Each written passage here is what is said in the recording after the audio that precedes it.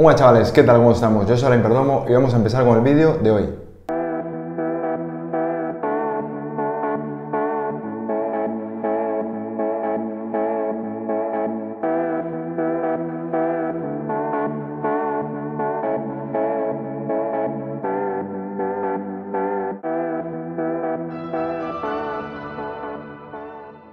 Lo que os voy a enseñar hoy es una técnica que os va a gustar muchísimo y os va a encantar porque os voy a enseñar a aplicar según una paleta de colores que la veremos ahora, tonos para la piel, para cualquier tipo de piel, para todos los retratos que tengáis, incluso para fotos también de cuerpo entero, pero sobre todo es verdad que está un poco más enfocado a retratos, pero vaya que en general lo vais a poder aplicar un poco a todo. Em, esto que tengo aquí, fijaros que es un retrato donde tiene unos tonos bastante generales, los tonos generales que tiene son bastante verdosos, bastante fríos, son unos tonos que no son los adecuados muchas veces. Y por supuesto cuando hacemos este tipo de ajuste de color o la foto nos sale así directamente de cámara, ¿qué pasa? Que eh, perdemos, digamos, tonos, eh, los tonos correctos de la piel y se nos viran un poquito a estos tonos. Pero os voy a enseñar a aplicar cómo según a través de una paleta de colores eh, específica para tonos de piel que yo personalmente de hecho utilizo en mi fotografía, o, mm, vais a poder utilizarla para aplicarla a cualquier tono de piel y vais a ver los resultados tan buenos que vamos a tener. Por supuesto la paleta de colores os la voy a pasar para que la tengáis, que de hecho es esta que tengo aquí y os la voy a pasar para que la tengáis, la tenéis abajo en la descripción, simplemente la tenéis que descargar y de esta forma pues la vais a poder emplear también en vuestros retratos y en vuestra fotografía. Entonces, ¿cómo hacemos esto? Pues de una manera muy sencilla.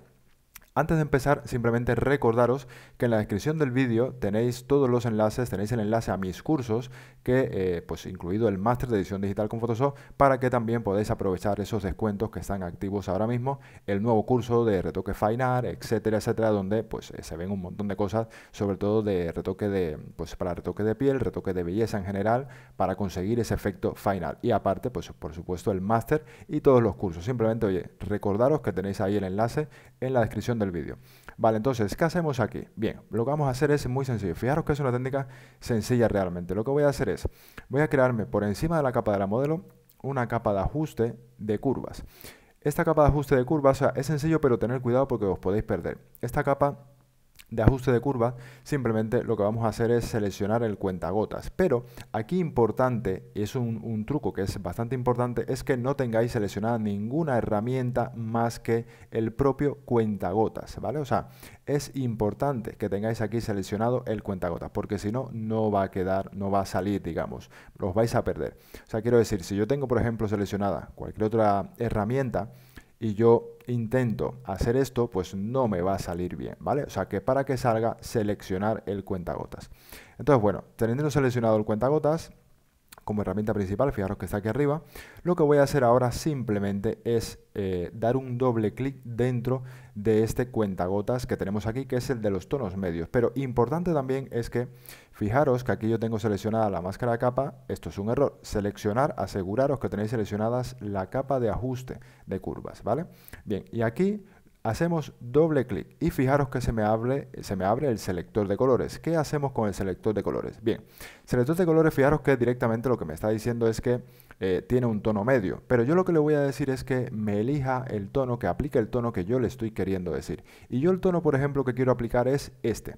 Aquí viene un punto importante también y es que eh, qué tono de la foto, en este caso de la piel, es el que queremos corregir y aplicar estos colores. ¿Queremos aplicarlos en los altos tonos? ¿Queremos aplicarlos en los tonos medios de la piel? ¿O más bien en las sombras? ¿Por qué? Porque esto va a influir si yo quiero corregirlo a través de las sombras, tendré que seleccionar el más oscuro. Si quiero corregirlo, por ejemplo, a través de los tonos medios, como puede ser esta zona, por ejemplo, por aquí, fijaros que es un punto más o menos medio entre las altas luces, como puede ser la frente, y las sombras, como puede ser esta zona, elegiré este. Y si quiero aplicarlo y emplearlo para corregir, que insisto, se aplicará todo, pero el, el resultado es ligeramente diferente. Eh, a través de las, altas luces o de los tonos claros de la foto elegiré este, pero lo aplicaré, como digo, eh, seleccionando pues altas luces. Pero, ¿cómo funciona todo esto? De hecho, fijaros, lo voy a cancelar, simplemente quería explicaros esto, lo voy a cancelar y lo voy a volver a hacer de nuevo otra vez para que no os perdáis y veáis bien cómo se hace. Capa de ajuste de curvas, perfecto, tengo aquí mi capa de ajuste de curva, acordaros importante, seleccionar la capa de ajuste en sí como tal. Nos vamos aquí al cuentagotas, el del medio, hacemos doble clic y nos sale el selector de colores.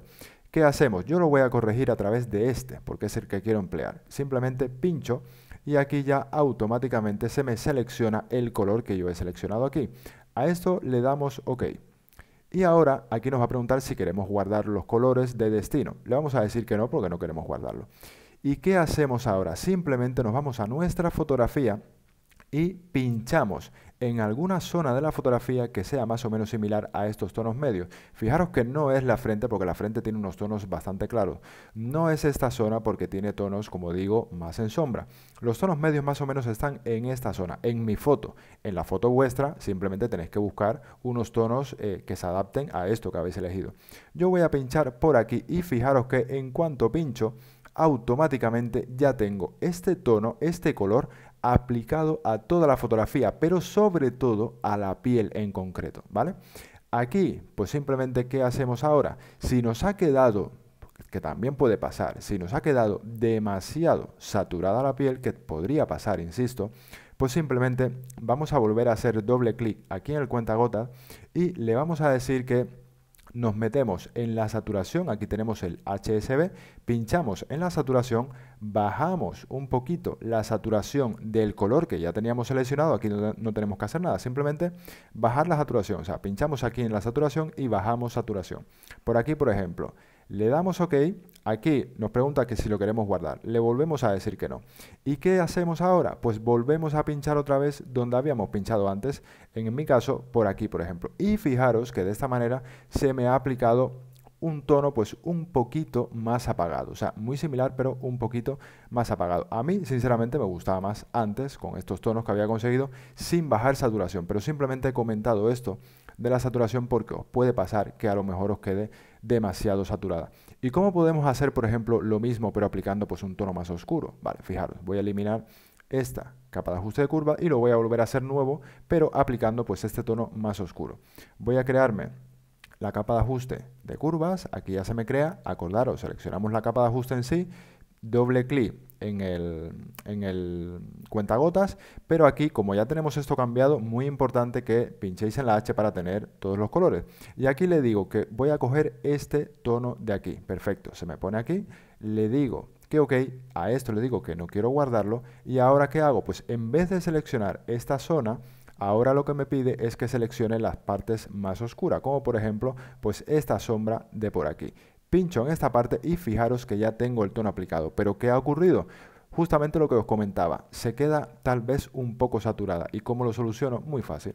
Simplemente doble clic otra vez, pincho en la saturación, bajo la saturación un poco, por ejemplo, pues por aquí a lo mejor puede estar bien, le doy OK, aquí le digo que no me lo guarde y ahora ¿qué vuelvo a hacer? Pues vuelvo otra vez a pinchar en la misma zona más o menos que había cogido antes la muestra, como por ejemplo por aquí.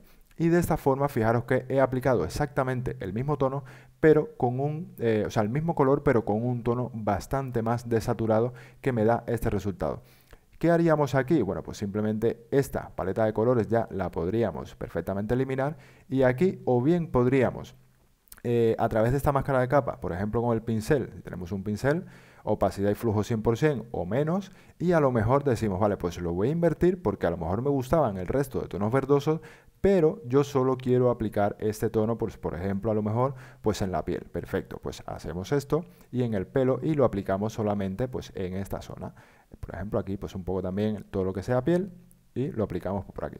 Perfecto. Yo en mi caso, por ejemplo, a mí me gusta, la verdad es que me gusta eh, cómo queda todo con este color, con este virado. Fijaros la grandísima diferencia que tenemos de los tonos que teníamos verdosos, que muchas veces incluso los cámaras RAW salen con estos tonos que son un poco más verdosos y de esta forma estáis aplicando un tono de una paleta de color específico para tonos de piel que queda la verdad es que muy chulo y ahí lo estáis viendo. Dejadme en los comentarios qué os ha parecido esto, si os ha gustado, si os ha resultado interesante, dejármelo saber ahí en los comentarios.